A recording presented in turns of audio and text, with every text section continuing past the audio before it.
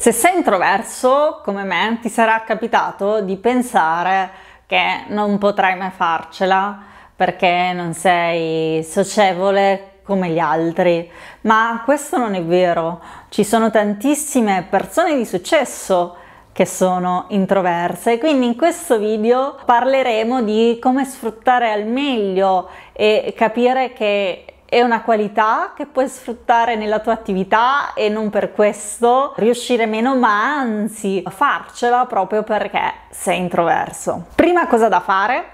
Usa le tue capacità introspettive nel tuo business perché molto probabilmente se sei introverso sei anche una persona introspettiva e, e questo è fondamentale se si ha un'attività in proprio. Quindi Sfrutta questa capacità, prenditi dei momenti per te, per capire come proseguire, per capire cosa potrebbe essere più giusto. Prenditi dei momenti solo per te, per sviluppare la tua attività. Trova ogni giorno un momento solo per te per rigenerarti. Se sei introverso come me, verosimilmente avrai bisogno dei momenti da passare completamente da solo perché quelli sono i momenti che ti fanno realmente stare bene e ti fanno ricaricare le batterie. Quindi ogni giorno dedica mezz'ora, anche solo 10 minuti a te stesso per rigenerarti. Non forzarti di essere chi non sei, non forzarti di fare qualcosa che non senti nelle tue corde, nel tuo modo di essere perché questo ti allontanerà ancora di più dal tuo obiettivo.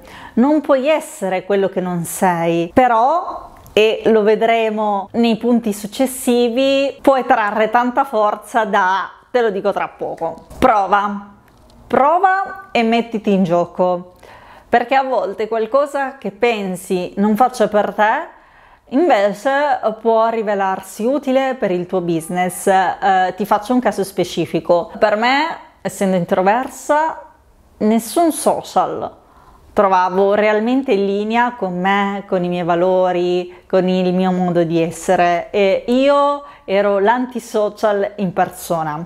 Però per il mio lavoro è fondamentale utilizzare i social in un determinato modo. Dovevo scegliere un social, uno strumento per farmi conoscere online.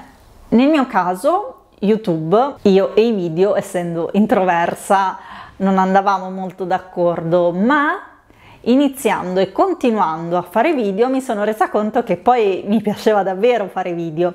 Quindi a volte è solo questione di tempo e magari di provare, perché pensi che non faccia per te, ma poi ti accorgi che invece è la tua strada anche qualcosa che all'inizio pensavi impossibile. Amati così come sei. Non uh, rimugirare ogni giorno pensando eh, quell'altra persona in quel modo, io non sarò mai così. Non devi essere diverso da te stesso, ok? Più contrasterai la tua natura, peggio sarà. Invece ama il tuo modo di essere e trai meglio da te stesso. Fai leva sui tuoi punti di forza, sulle per esempio tue capacità analitiche o su altri punti di forza che hai. Invece di fossilizzarti perché non sei estroverso e socievole, cerca di focalizzarti su quei punti di forza, su cosa le persone dicono o su cosa pensi tu di avere in più rispetto agli altri.